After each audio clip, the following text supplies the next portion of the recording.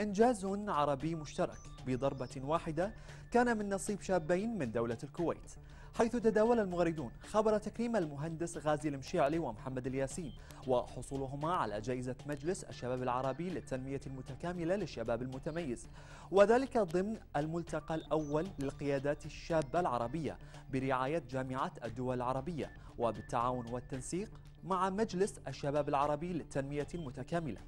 فبسعادة عارمة هنأ المغردون المشيعلي والياسين على هذا التكريم. متمنين لهم المزيد من التقدم. وللمزيد حول الموضوع قام فريق التواصل الاجتماعي في قطاع الأخبار والبرامج السياسية بإجراء مكالمة هاتفية مع المهندس غازي المشيعلي ومحمد الياسين واللذين أفادا بالتالي.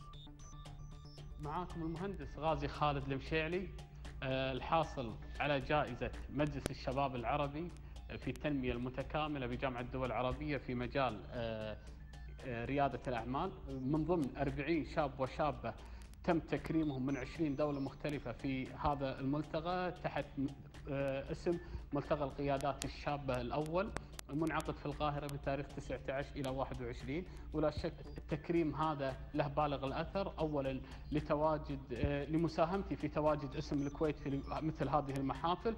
بالإضافة إلى أن الجوائز هذه تجعل الإنسان يعرف ما إذا كان عمله جدير في الشكر والثناء وحتى يستطيع أن يعيد تقييم نفسه وتقديم المزيد من الأعمال الناجحة. محمد خالد الياسين الحاصل على جائزة الشباب العربي المتميز من قبل مجلس الشباب العربي برعاية من جامعة الدول العربية في القاهرة.